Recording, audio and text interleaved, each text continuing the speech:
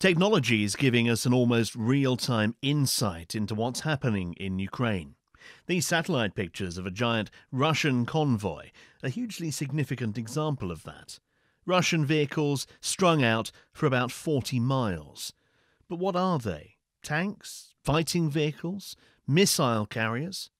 It seems not. The satellite photos I've seen seem to be almost entirely logistic trucks we must assume that they are full of ammunition, fuel, and food and water. Um, without that delivery of those supplies, a Russian attack on Kiev could be quite difficult for them.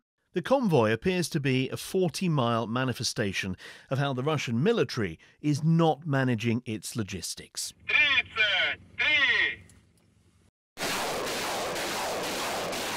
In all the pre invasion video releases from Moscow, Great play was made of Russia's firepower and offensive capabilities.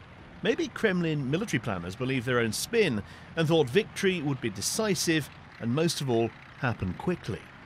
Perhaps that's why rudimentary basics like fuel, ammunition, and food seem to have been overlooked.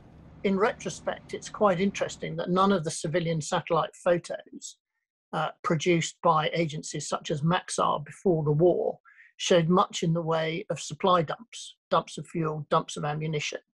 Um, they did show field hospital, hospitals, and it may be that Russia was hugely over optimistic that they would be welcomed by the Ukrainian civilians and the Ukrainian army wouldn't put up much of a, a much resistance.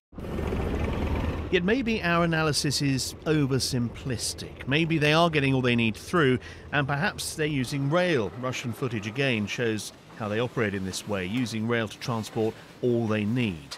But that does have its limits. They need to be transferred from rail to roads.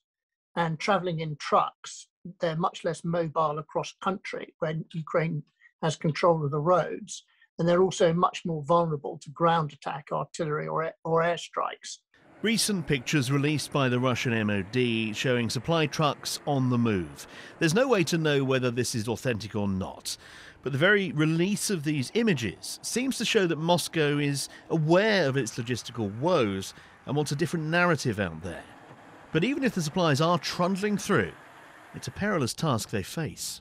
I wouldn't want to be uh, leading a convoy of, say, a dozen trucks to a forward uh, Russian battalion and unloading the ammunition and refueling all the vehicles at the same time as there was a Ukrainian artillery or airstrike. And that remains a real possibility, because far from this war being over quickly, the Ukrainian military is still fighting strongly, contrary to what most people thought, perhaps especially the Russian military. Tim Cooper, Forces News. If you enjoyed this video, don't forget to like and subscribe.